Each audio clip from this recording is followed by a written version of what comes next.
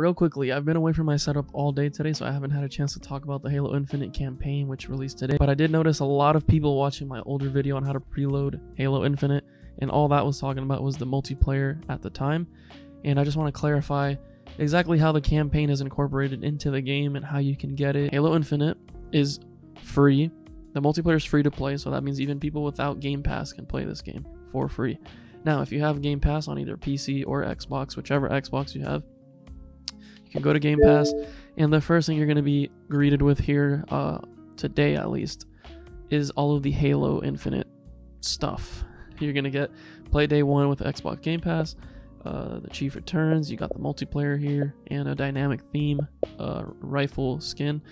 And yeah, the whole top layer of Game Pass is literally Halo, Halo, more Halo. Click on here, and then you can download it. I already have it installed, obviously, but you will see here in this bundle, it says Halo Infinite campaign.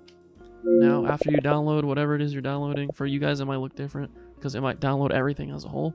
Since I already had the multiplayer downloaded, downloaded, it's not like I said downloaded it. I'm just gonna go ahead and open the game. In here, you're gonna go to campaign and you're going to download it right here. It says campaign not installed. You're gonna check that one. Basically, the multiplayer is 18 gigs and the campaign is also 18 gigs or 18 and some change and together it's 36 gigabytes. So i'm going to go ahead and apply. That's actually pretty good for uh, multiplayer and campaign both combined. The size of this update is around 18.2 gigs. Uh, update now. It's going to be like a pause here and then it should start updating.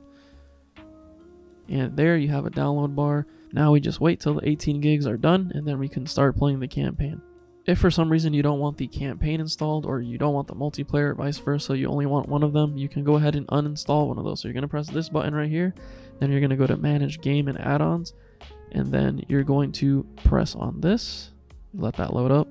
And here you can actually pick what you want to download. So the base game is 18.5 gigs and the campaign is 18.2. You can check it and then just apply those settings. Just thought that might be some useful information for anyone that doesn't want both parts of the game installed and is trying to save some space. Hopefully that clarifies a little bit where the downloads are specifically and where to find them, how to download them. If you were confused, I hope this helped you, and I think that's pretty much it for this video. I'm just going to wait for this download and probably play for a while. I don't know if I'll post any gameplay. I might make a video showing how it runs and how it looks on Xbox Series S since it is the more underpowered console and a lot of people are curious to know what that looks like. So look out for that.